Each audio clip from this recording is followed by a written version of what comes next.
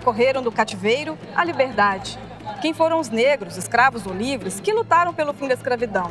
E como é possível reparar a desvantagem social do negro no Brasil?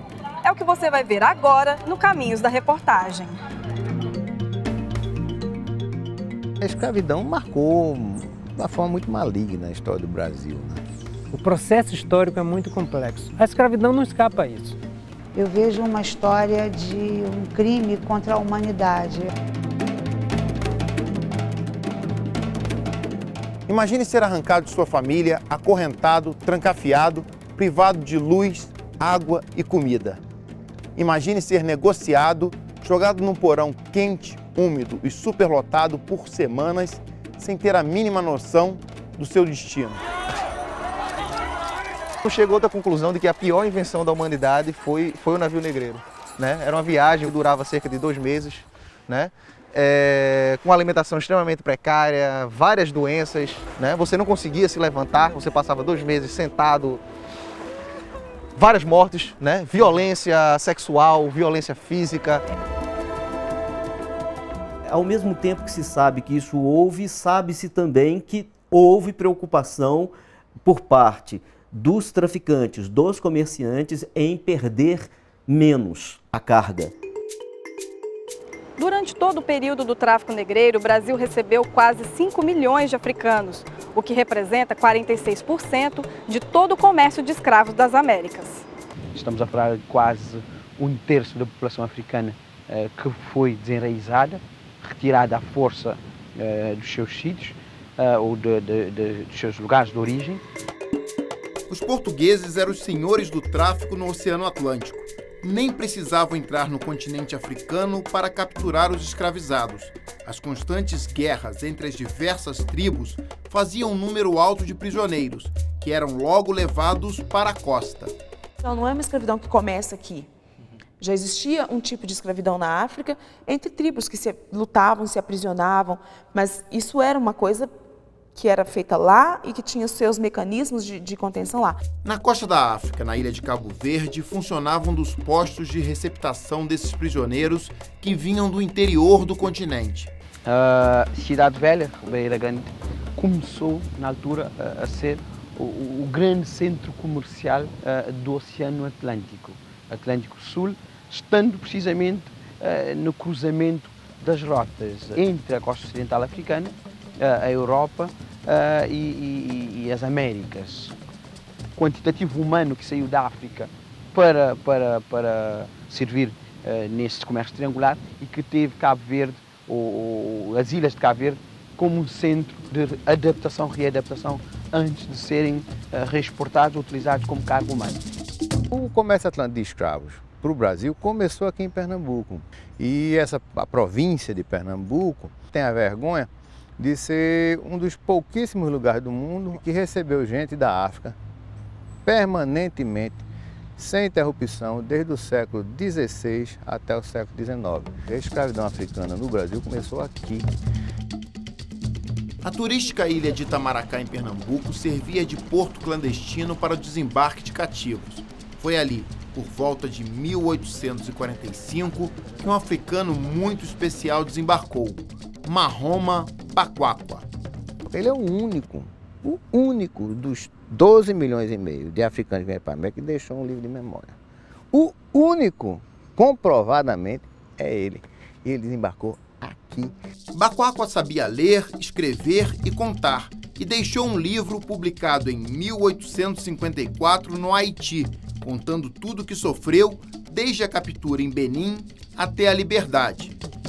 Em 1845, quando Bacuacua chega aqui no norte de Pernambuco e é vendido para um, um, padeiro, provavelmente em Olinda, ele trabalhava inicialmente como carregador de pedras. Era um trabalho muito duro e ele coloca que em certa ocasião ele tenta suicídio, mais de uma vez inclusive, e antes que ele conseguisse se matar, vamos colocar assim, o seu senhor o vende para um comerciante da Praça do Rio de Janeiro. O Rio de Janeiro foi a cidade que mais recebeu navios negreiros no mundo. 2 milhões de escravos africanos podem ter desembarcado nessas pedras, que hoje fazem parte das ruínas do antigo cais do Valongo, na área portuária.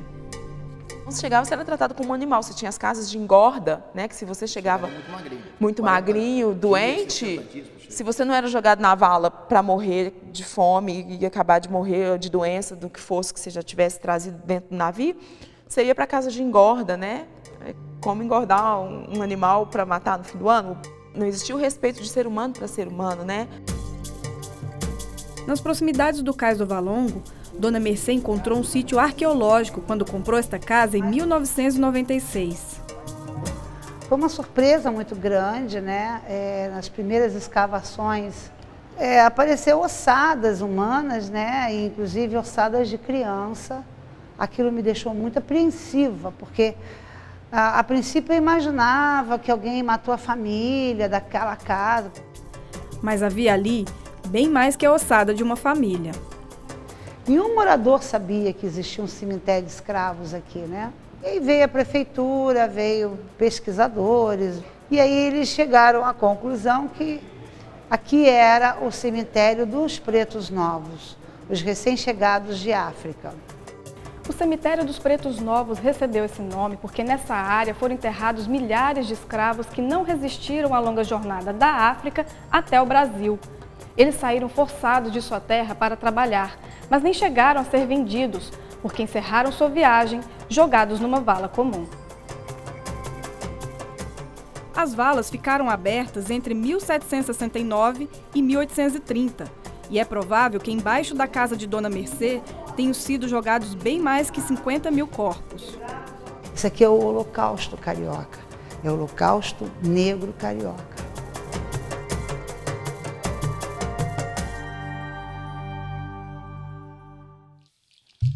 Quem não morria era exposto no mercado e logo vendido para algum senhor. No século XVIII, com a descoberta do ouro nas regiões das Minas Gerais, houve uma verdadeira corrida por mão de obra escrava especializada. E onde que eles vão buscar essa mão de obra especializada? Eles vão para a África, para a região da costa da mina. São escravos que já têm uma tradição de saber minerar, é que geralmente são utilizados nas áreas de mineração. Esse escravo, evidentemente, especializado, custa muito mais.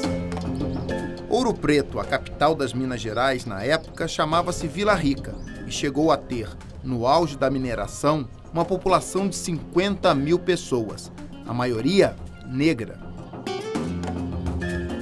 Foi com a mão de obra escrava que Vila Rica prosperou. Eles escavaram minas, extraíram riquezas naturais e enriqueceram ainda mais a coroa portuguesa. Só a mina de Chico Rei produziu 25 mil quilos de ouro. Chico Rei é do Congo belga, né, do norte da África. E ele foi capturado, ele foi comprado na mão dos holandeses pelos portugueses, exatamente que eles já tinham know-how de exploração de ouro e diamante. Ele jurou para os súditos dele, se vocês permanecerem tendo a mesma obediência que tinham com meu pai, lá no Congo, chegando nesse país desconhecido, eu vou lutar pela nossa liberdade. Toninho é hoje o dono da antiga mina de Chico Rei. Não encontra pepitas, mas explora o turismo graças a essa história que mistura lenda com realidade. A do escravo que enriqueceu, libertou sua tribo e foi coroado em plena Vila Rica. O próprio dono da mina falou com ele, você não merece ser escravo, eu vou te alforriar. Aí alforriou o Francisco e daí para frente Francisco foi pagando o Major Augusto e foi alforriando a tribo dele por hierarquia até formar uma comunidade negra totalmente independente no Brasil. E aí entra a parte fictícia, né? Que é a lenda. Sem comprovação. Sem comprovação documental, que ele descobre uma quantidade muito grande de ouro dentro dessa mina, mas ele não conta. Ele vai tirando um pouquinho, vai pagando. Quando ele consegue pagar o seu forrei, ele propõe a compra da mina para o seu senhor. A partir do momento que ele compra a mina, ele vai também comprando a liberdade de seus escravos com o ouro que ele extrai de lá. Era interessante para o governo ter um, um representante negro aqui em Ouro Preto ou em Minas Gerais, porque a maioria era negra. Se eles se revoltassem, iria ser uma tragédia para os brancos. Então, o Chico Rei libertava os escravos com essa garantia não sem baderna, sem revolta, e também proteger os negros. Documentalmente falando, nada se conhece que comprove a existência desse Chico Rei ou de qualquer outro escravo nesse perfil que tenha eh, tido essa história. Polêmico Chico Rei. Com toda a riqueza extraída da mina, ele teria construído a igreja de Santa Efigênia e e dançado o congado em frente a ela no dia 6 de janeiro, justamente o dia de Reis. Mas se ele não existiu, quem teria erguido o templo? Certamente uma irmandade inteira de homens negros alforreados ou que já nasceram livres. Na região de Minas Gerais, o, peso do catolicismo foi muito grande. Então, o que você teve aqui? Você não teve a explosão de terreiros que você teve na Bahia, mas você teve a constituição de irmandades negras. Aqui hoje, por exemplo, a gente está na igreja, que é a igreja de Santa Efigênia e Nossa Senhora do Rosário da Cruz, que é uma igreja que a irmandade foi essencialmente negra. A igreja de Santa Efigênia não era a única dos negros de Vila Rica. Mais imponente ainda era a igreja de Nossa Senhora do Rosário dos Homens Pretos. Dentro dela estão os quatro santos negros do catolicismo: São Elesbão, Santo Antônio de Cartagerona, São Benedito e a própria Santa Efigênia. Tem um santo negro na igreja, quer dizer que eles não estavam tanto perdidos assim. Eles tinham um ponto de apoio. Eles não eram uma raça amaldiçoada como muitos diziam. Durante a construção, os escravos conseguiram auxílio financeiro dos seus próprios senhores. Nos livros da Irmandade nós encontramos muito todas as pessoas eminentes da capitania, inclusive os governadores, doando dinheiro para a festa do Rosário, alguns como protetores. Esse senhor precisava da Irmandade, porque na hora que o negro ficava pobre, doente, quando ele não dava mais conta de trabalhar, quem que amparava ele? No serviço da Irmandade, ali ia lá visitar o doente, quando ele morria, era a Irmandade que enterrava. Se na antiga Vila Rica o ouro correu farto para a construção e ornamentação da igreja de Nossa Senhora do Rosário, o mesmo não se pode dizer de outra cidade mineira, Sabará.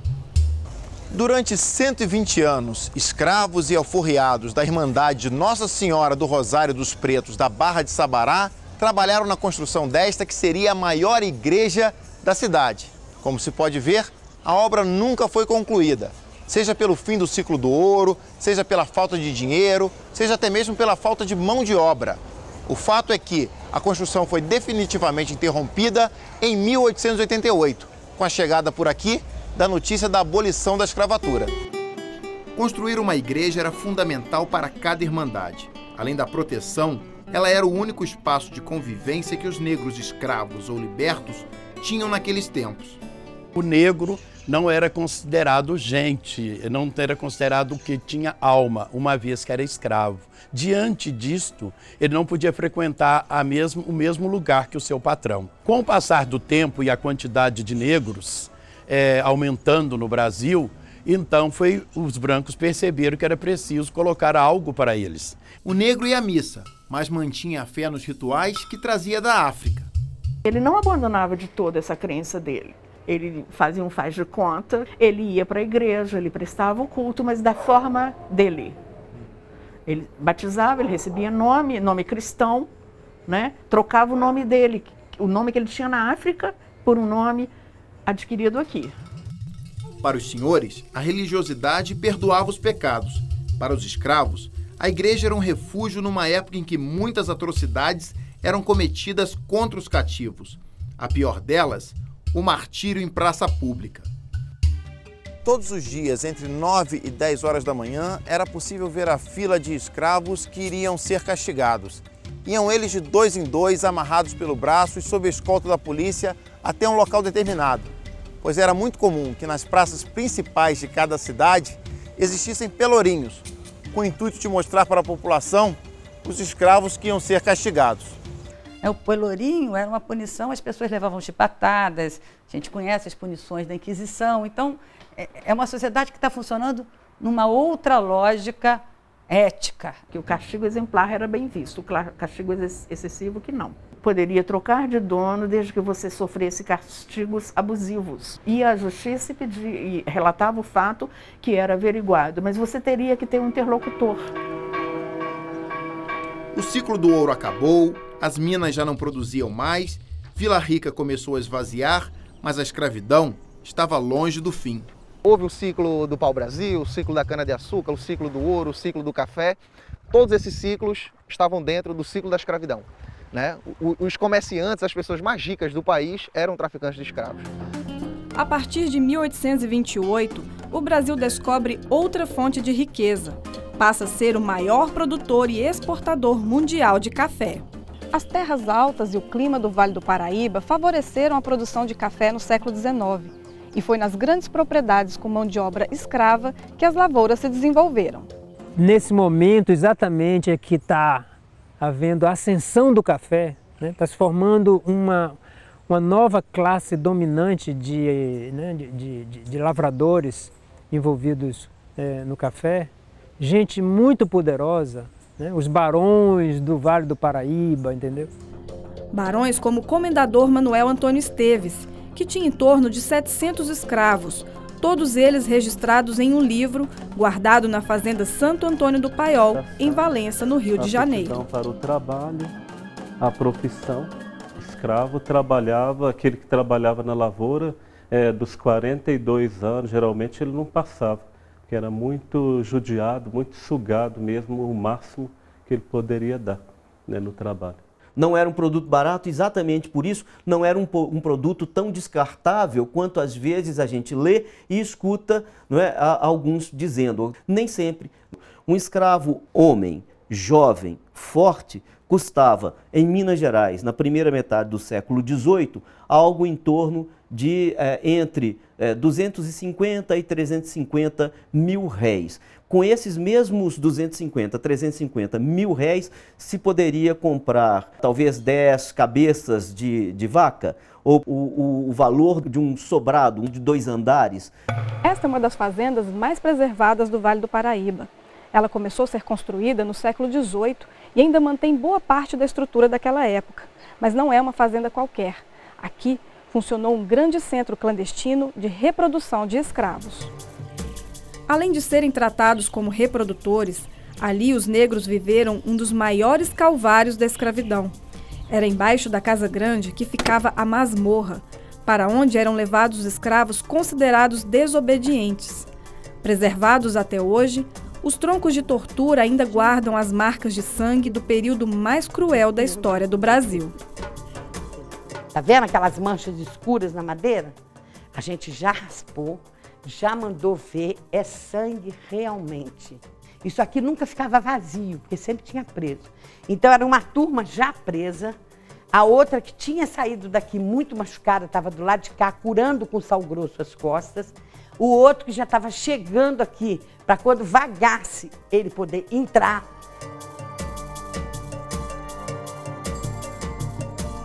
Será que haveria uma luz no fim do túnel para o sofrimento de tantos escravos?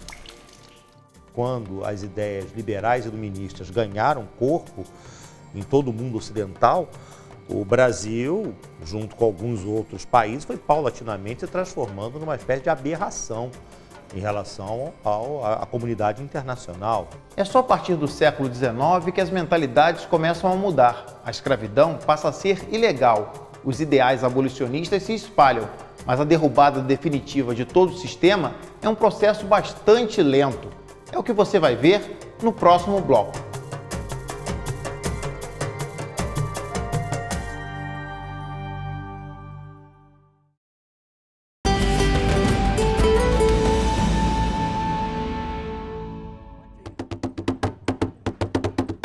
Onde há escravidão, a fuga. Em busca de liberdade, os escravos cantavam e fugiam. sinal vinha do próprio batuque. Era um aviso para os escravos. Eles podiam correr que o capataz estava distraído. O candongueiro no quilombo é usado como dedo duro. E o candongueiro, ele bate num ritmo diferente do tambu. E o candongueiro era que marcava a hora e a posição e quando a pessoa podia assim sair na fuga. E quando também a fuga fosse descoberta, o candongueiro ele tem assim, uma facilidade de mudar de, toca, de, de toque sem prejudicar o ritmo. Aí mudava o toque dele e os caras sabiam que tinha que esconder que tinha sido descoberta a fuga. Além da fogueira, ajuda todos irmãos. Numa época em que a escravidão estava longe de acabar, a fuga era a forma mais rápida de liberdade. Era um fenômeno muito intenso, muito intenso mesmo. Provavelmente poucos escravos não tinham no seu currículo uma fuga, pelo menos. Seguindo pelas matas ou pelos rios, os escravos se refugiavam em pontos distantes das fazendas e formavam os quilombos. O quilombo, de um modo geral, é uma resistência de trincheira, podemos dizer. Uma coisa que as pessoas buscavam uma, um local para se refugiar, se proteger. Na Serra da Beleza, interior do estado do Rio de Janeiro, está o quilombo São José da Serra. É provável que os primeiros negros tenham ido para lá por volta de 1830, fugindo das fazendas de café. Nós somos da região do Congo, tá? São os negros bantos né, que veio né, de ba da Bahia para o Rio de Janeiro. Aí, meu velho aí, ó. Deus abençoe. Senhor, direitinho. Deus abençoe. E meu pai veio de lá, meu avô foi comprado lá, era cativo, né? E quando deu uma folga lá e fugiu para aqui, por quilômetro. Com o tempo veio a liberdade e ficou por aqui mesmo, né? Seu Manuel, 96 anos, é o patriarca da comunidade. Foi filho de escravo e ouviu histórias que o tempo não apaga. Do escravo ficar com os braços abertos, amarrados. Já o capataz amarrava, né? dormia ali amarrado. E batia. Memórias tão marcantes para os negros que as gerações passam e ninguém esquece. Para fugir do sistema opressor, além dos quilombos, os escravos organizaram rebeliões. O maior palco de revoltas escravas no Brasil foi a Bahia.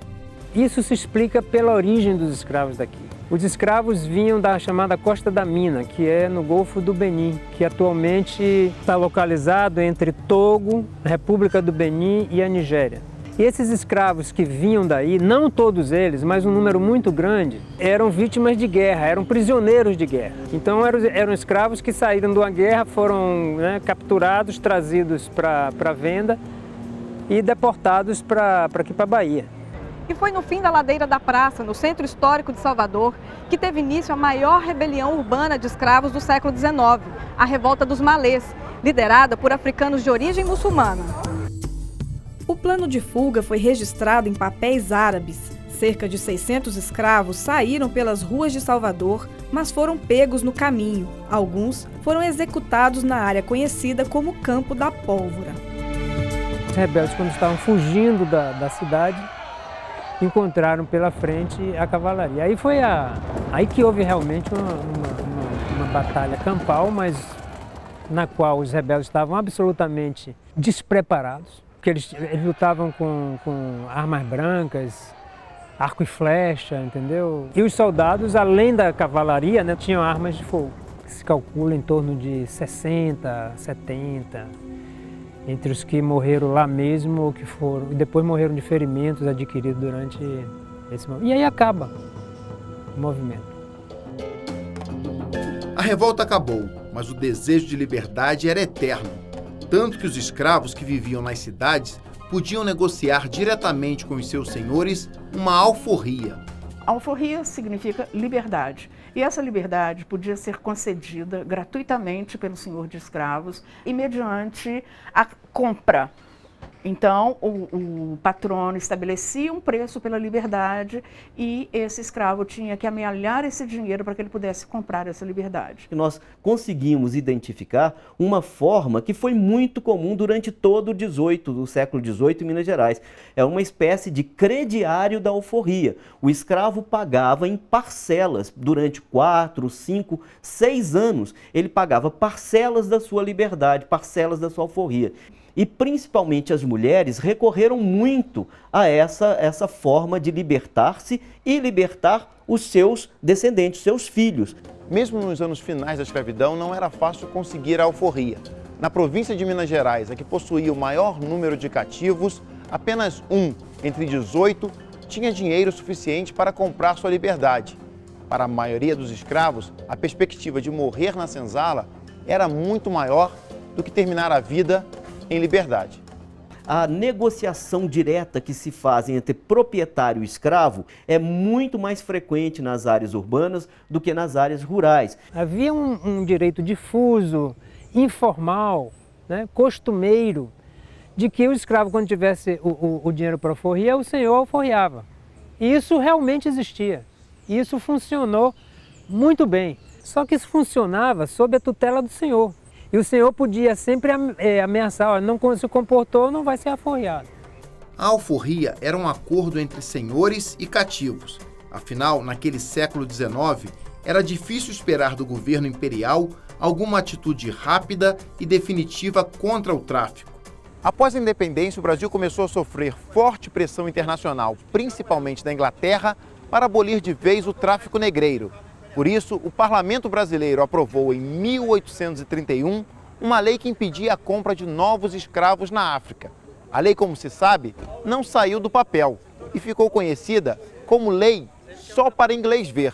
Há uma tentativa de fazer a lei ser cumprida no início, mas de fato ela começa a ser burlada por todos os lados e finalmente os próprios grupos é, que, predominantes na política brasileira vão fechar os olhos. Uma lei para inglês ver, houve realmente uma corrida por, por parte dos, dos senhores de escravos por comprar mais dessa mão de obra, já que o medo é que a possibilidade de trazer gente da África para trabalhar como escravos acabasse. Os eh, traficantes quiseram abastecer o mercado intensamente para poder ficar com mercadoria né, disponível para o momento em que o tráfico terminasse, na esperança de que os preços iriam lá para cima.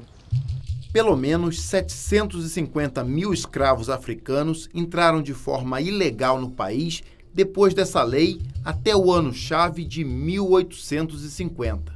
Em 1850 foi, foi criada uma lei que foi batizada como a Lei Eusébio de Queiroz, que proibiu também, além dessa outra anterior que a gente falou, de 1831, que proibiu definitivamente o tráfico de escravos no Brasil.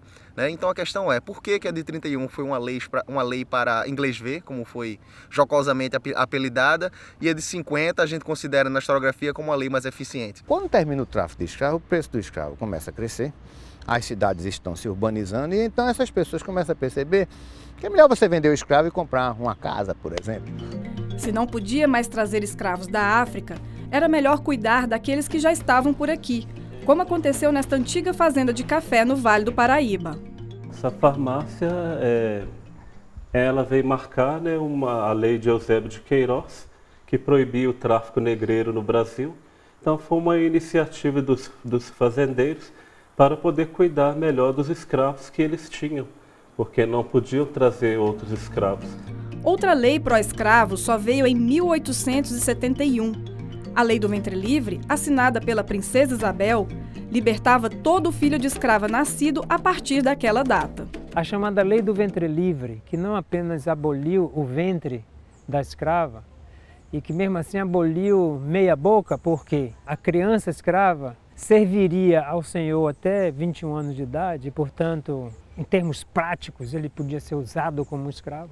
É uma tentativa de, de acabar com a escravidão de forma gradativa, né? de uma forma suave, enfim, sem um, um, um enfrentamento da questão. Né? Na verdade, eram formas de, de de, de, se dar uma justificativa né, para a pressão abolicionista que já estava acontecendo né, nas grandes potências eh, mundiais da época. Em 1871, quando se faz o censo, entre a população negra, entre 65% e 70% já vivia legalmente na liberdade, formalmente na liberdade, mais de 15 anos antes da escravidão acabar.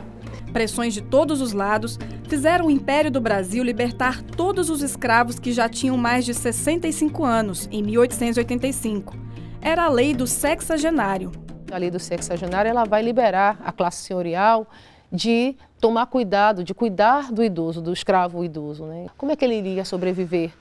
Né? Era muito pequeno o número de cativos que conseguiam é, chegar a essa idade, 65 anos. A grande maioria morria bem antes, por conta do trabalho estafante.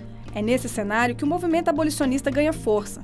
Entre os principais ativistas estavam o advogado Luiz Gama, o engenheiro André Rebouças, o escritor Machado de Assis e o jornalista José do Patrocínio. Todos homens de cor, como se dizia na época. Todos com enorme projeção na sociedade.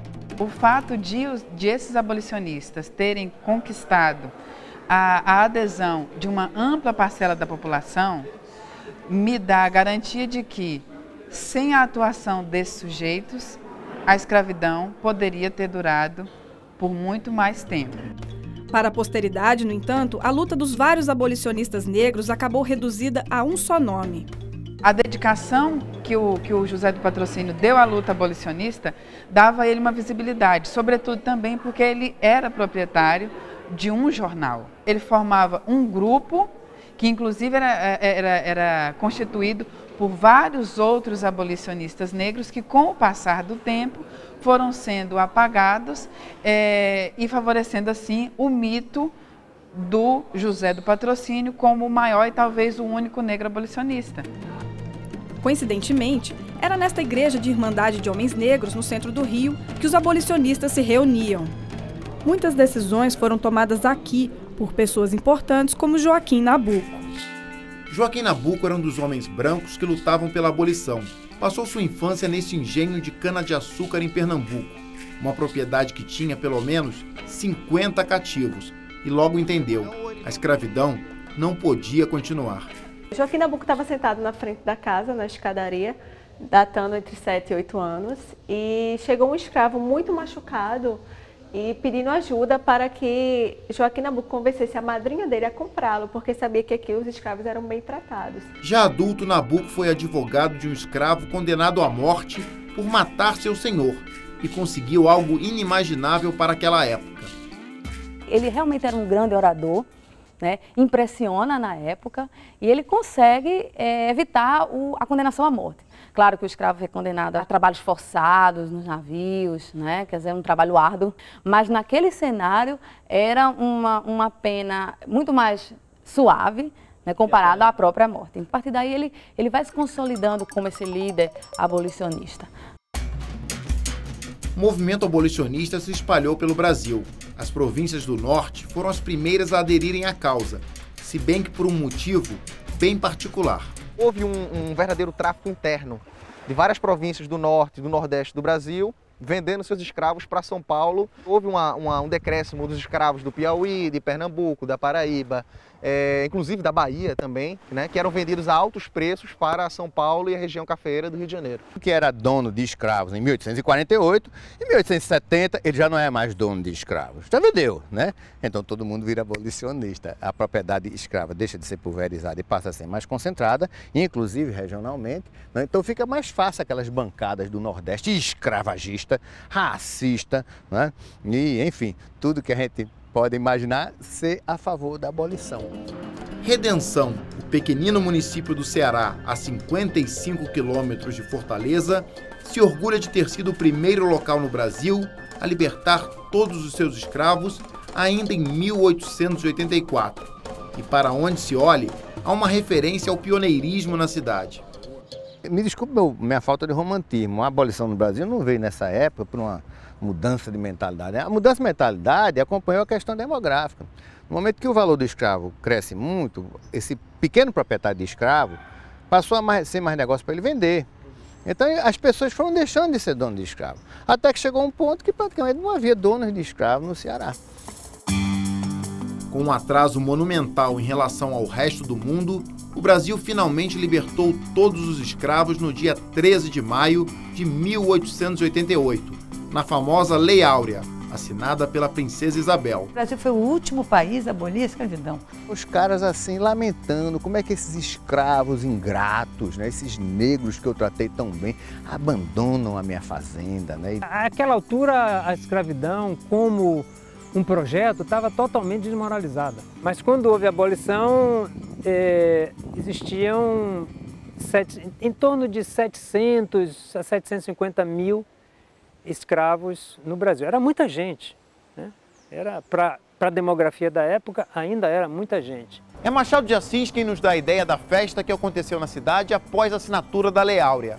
Houve sol, e grande sol naquele domingo de 1888, em que o Senado aprovou a lei que a regente sancionou e todos saímos às ruas. Sim, eu também saí às ruas. Eu também entrei no préstito em carruagem aberta. Todos respiravam felicidade. Tudo era delírio. Leia o Machado de Assis que você vai perceber que ele falou sobre as mazelas da escravidão, sobre, as, sobre as, os impasses gerados pela escravidão, sobre as possibilidades de, de, de ação de pessoas negras é, livres, libertas e escravizadas em vários momentos da obra dele. Funcionário público de um ministério responsável pela aplicação da legislação abolicionista, é provável que Machado de Assis tenha dado um rápido encaminhamento para essas questões dentro da burocracia do governo imperial. Quando você chega ali em 1888, que os jornais passam a homenagear aos, a, a quem contribuiu para o fim da escravidão, o Machado de Assis é um dos primeiros nomes para é, quem se agradece é, na atuação realizada a partir do Ministério da Agricultura. Mas as homenagens e as festas causadas pela Lei Áurea acabaram muito rápido. Então, quando a abolição da escravatura acontece, eles não pensaram em dar moradia, eles não pensaram em dar educação, eles não pensaram em nada para este povo que estava ganhando a liberdade. A partir da chegada da notícia nas mais distantes fazendas do Brasil, todos os negros estavam livres. O que eles iam fazer a partir de então parecia não ser mais responsabilidade do Estado brasileiro. Por mais que em 1888 tem toda essa questão da, da liberdade, do fim da escravidão, mas esses escravos vão para onde? Eles não têm terra, eles não têm casa, eles não têm trabalho. Para você ter comida, você precisa, de alguma forma, produzir. Se você vai analisar o que foi a experiência da liberdade é, entre pessoas negras ah, ao longo do século XIX, você vai ter o quê? Uma história da precariedade da cidadania no Brasil. Nos dias de hoje, será que é possível reparar os males deixados pela escravidão? Políticas afirmativas e sistemas de cotas atendem às reivindicações da população negra brasileira? É o que você vai ver no próximo bloco.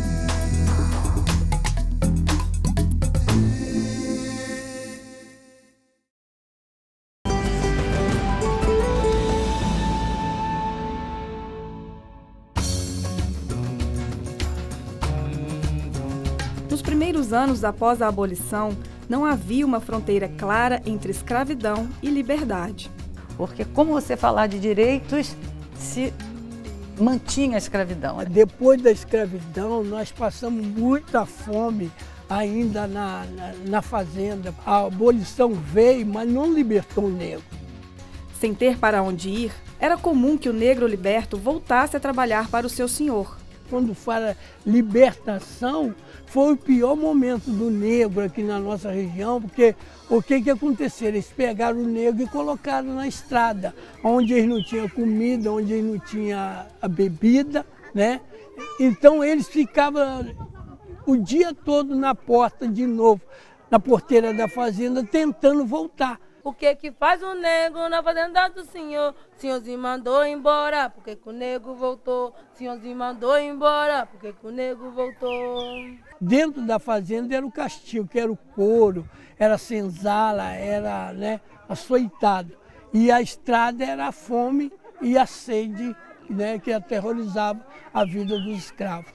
Com algumas poucas exceções, André Rebouças entre eles, José do Patrocínio também, que falavam em alguma forma de indenização para os últimos escravizados em terras. A grande discussão na hora da abolição foi a indenização dos senhores, né? ah, porque os senhores foram indenizados na Inglaterra, foram indenizados na Rússia. No Brasil, a chamada Lei de Terras, em vigor no momento da abolição, dificultava o acesso dos ex-escravos à terra onde moravam e trabalhavam. Uma mudança na legislação era o que defendiam alguns abolicionistas, como Joaquim Nabuco. Para Nabuco não bastava somente a, abolição. Liberdade por simplesmente liberdade. Simplesmente a liberdade. Né? Era preciso, como ele dizia, oferecer dignidade para as pessoas e essa dignidade passava pela terra. Quer dizer, o país só poderia crescer se a lei agrária fosse efetivada. Ainda hoje, as comunidades quilombolas lutam pelo direito de permanecer na terra onde construíram a sua história. Hoje, graças a Deus, e hoje nós estamos no processo aqui de titulação da terra, né? Parte da terra já é da comunidade, tá? Nós só tomamos com a partinha um pequeno pedaço aqui que está tá em questão. Isso que se deu assim a liberdade para o quilombo. Mais de 120 anos após a abolição, o Brasil ainda é marcado pelo racismo e pela desigualdade social. Uma pesquisa das Nações Unidas mostra que o índice de desenvolvimento humano, aquele que mede o nível de renda e acesso à saúde, educação, entre outras políticas, é menor entre os negros do que entre os brancos. Os negros saíram da lavoura do café, foram para a favela, mas estão sendo massacrados até o dia de hoje. Então é óbvio que essa questão da cidadania da população afrodescendente era um problema no século XIX e com todas as evoluções que vieram percorrendo ao longo do século XX, continuam sendo um problema também no século XXI.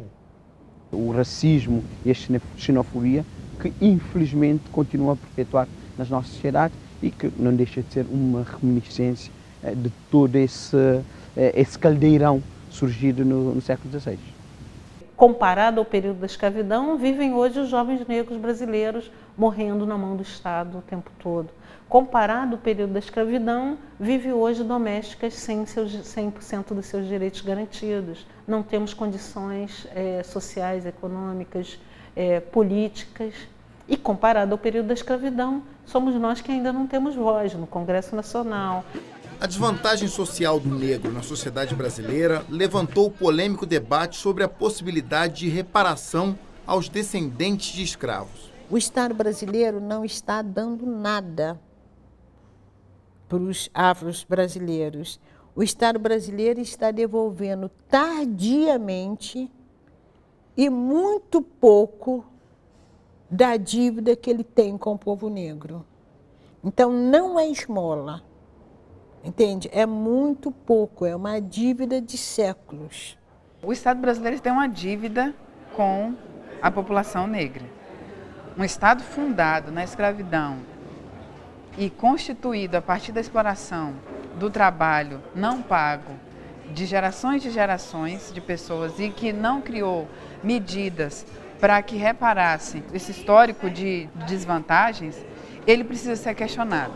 Um debate complexo, se for relacionar numa relação direta de causa e efeito, reparação com algum benefício pecuniário nos dias atuais, eu particularmente acho que essa conta é impossível de ser feita. Por mais, tecnicamente, contabilmente, politicamente, acho que não há muito como. É impossível, eh, é impossível certos países eh, ou certas nações pagarem a dívida que têm para o continente africano.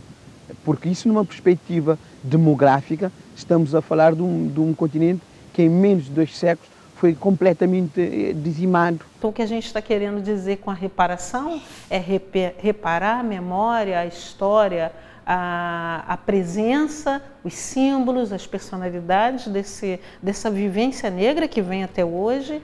Para discutir as possíveis formas de reparação, a Ordem dos Advogados do Brasil, a OAB, criou recentemente a Comissão da Verdade sobre a Escravidão Negra. Vamos discutir a reparação e vamos discutir a verdade da escravidão, da mesma forma como foi feita na Comissão da Verdade sobre a Ditadura. Qual é o crime, né? quem cometeu o crime e quem o sofreu. Né? Você trabalhou para construir esse Brasil sem receber um tostão em troca. É a sociedade como um todo né, que tem que reparar, no sentido de que o Estado tem que coordenar uma reparação. E isso está acontecendo, de uma certa maneira, através das cotas para a educação, das cotas para o funcionalismo público, programas de saúde especificamente dirigidos para a população afro-brasileira. Qual seria o preço a pagar uh, pelos, pelos escravos africanos que morreram na travessia do Atlântico enquanto carga? Nunca teríamos o preço justo desta competição? Na verdade, o retorno devia ser pagar em dinheiro uh, esses anos trabalhados uh, por esse grupo. Mas nós sabemos que isso não vai acontecer. Para isso acontecer, era necessário reconhecer que a escravidão foi um crime. Reconhecer simbolicamente é muito simples, fácil. Uma das formas de reparação aos danos causados pelo longo período de escravidão é a Lei de Cotas, criada em 2003, que incentiva o ingresso de estudantes negros nas universidades públicas do país.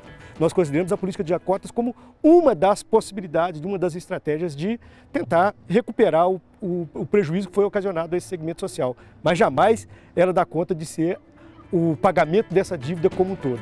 Adilson realizou uma pesquisa sobre o desempenho de alunos cotistas nos cursos de Medicina, Direito, Engenharia Civil e Serviço Social na Universidade Federal de Ouro Preto, em Minas Gerais. Os estudantes que ingressaram nesses três cursos, eles não teriam possibilidade de ingressar na universidade naquele ano, no ano de 2009, caso eles não fossem beneficiados por uma política de acesso diferenciada. E passado um ano de permanência no curso, eu vi, examinei os históricos e os currículos escolares deles e consegui perceber que o nosso estudante desses cursos eles tinham um desempenho acadêmico igual ou semelhante aos dos seus colegas que não entraram por essa política de cotas. Então, as políticas de inclusão, as políticas de reparação, elas são extremamente necessárias e as pessoas precisam se dar conta disso, porque todo mundo vai viver melhor se nós tivermos uma sociedade mais igual. No conjunto das políticas que vêm sendo empreendidas nesse sentido, há outras, como a, a lei que traz para dentro da escola a obrigatoriedade do ensino de história e cultura africana. E seria muito importante que essa história fosse realmente ensinada em salas de aula, nossa verdadeira história, porque eu acho que será a partir daí que nós iremos conseguir sanar um pouco desse racismo que aí está. E foi em sala de aula que Vitor começou a mudar sua história. Ele é o primeiro membro da família que chegou ao ensino superior. O pai do meu avô não estudou, o meu avô não estudou, a minha mãe não estudou. Qual é a geração que está conseguindo estudar?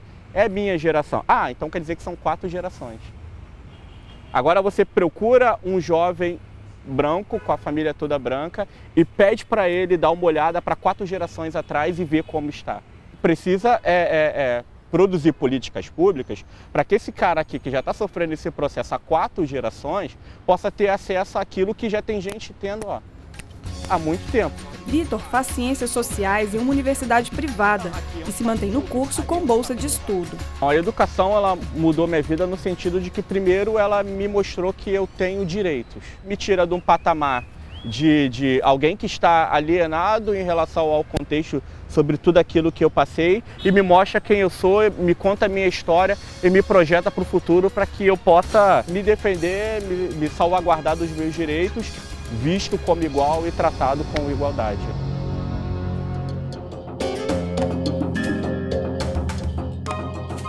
A educação também marcou a história de Dona Zica. Ela foi empregada doméstica dos 8 aos 65 anos de idade. Seu primeiro trabalho foi para os descendentes da família, para quem sua avó trabalhou nos tempos da escravidão. No primeiro momento, aos 9 anos, eu cuidava de duas crianças. Tá? Eu cuidava, eu só não cozinhava, mas fazia todo o serviço da casa. Né? Eu estudava, ela fez questão, eu fui a primeira pessoa da família a entrar no grupo escolar. Quando o tempo passa, a partir de tomar uma consciência que a gente veja, que eu percebo, eu fazia um trabalho escravo. Ainda criança, quando os patrões atrasaram o pagamento, Dona Zica fez a sua primeira reivindicação por direitos trabalhistas. Peguei a bagagem que eu tinha e fui para casa. Disse, mãe, não vou trabalhar mais. Dois dias depois ele foi atrás de mim. Aí disse para minha mãe assim como se eu fosse propriedade deles, né? Eu vim buscar a física. Conversaram, conversaram. A minha mãe disse, me chamou. Seu Gias veio te buscar. Eu disse, mas eu não vou. Aí ele disse para mim que soou muito mal nos meus ouvidos. Com uma criança de 11 anos, eu tive esse entendimento. Você não vai, não volta, mas também eu não te pago. Certo? E soou de uma forma muito, muito complicada nos meus ouvidos, entendeu? Eu trabalhei, eu preciso de receber. E eu comecei a colocar na minha cabeça, ele vai me pagar de qualquer jeito. Eu não vou deixar de receber meu dinheiro. E um dia eu cheguei e falei para o era o seu, seu Montalvão, o nome do senhor. Escolhi tudo que eu queria. Eu digo, hoje eu vou comprar todo meu material de escola. Aí comprei tudo, tudo, tudo que eu precisava caderno, lápis de cor. Eu achava lindo aqueles lápis de cor de grande, eu queria possuir, não tinha. Então tudo aquilo que eu sonhei eu comprei, só de material de escola. Quando o homem foi pagar a dívida, ele viu esse acréscimo, né?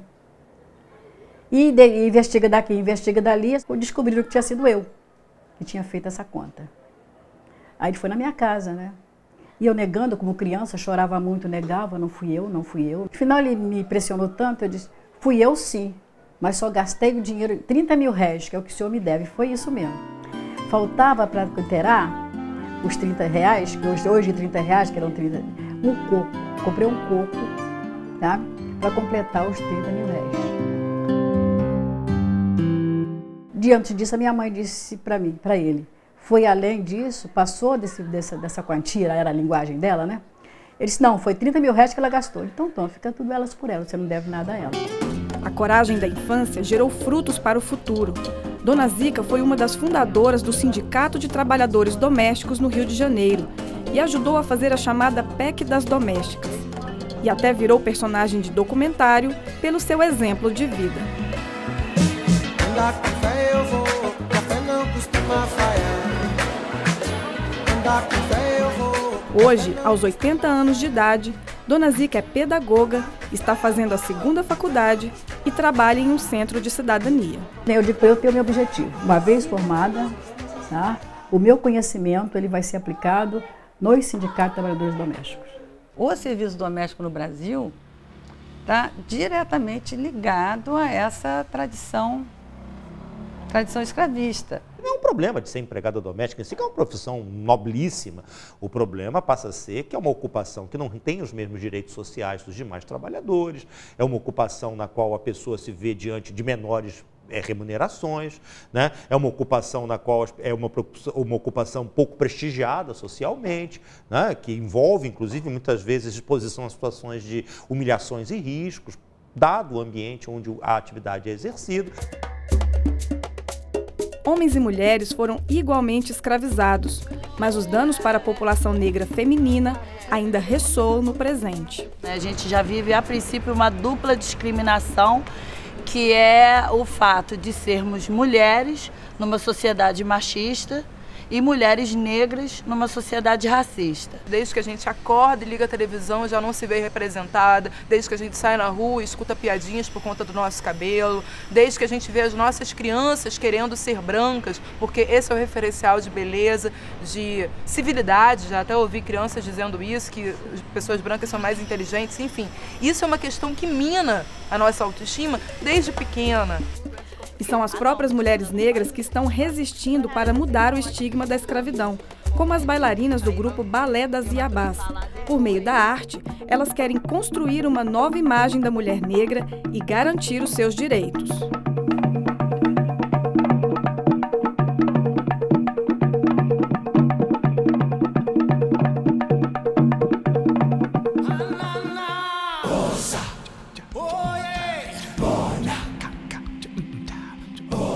Memória da escravidão vai além da dor, das marcas nas senzalas e dos monumentos construídos pelas mãos dos que foram escravizados. Está cada vez mais presente na cultura, nos costumes, na beleza e na resistência de seus descendentes. A escravidão aqui ela é tão fortalecida e entrou tanto no inconsciente coletivo que existe um, um certo apagamento dela na memória. Os negros fundaram a liberdade no Brasil.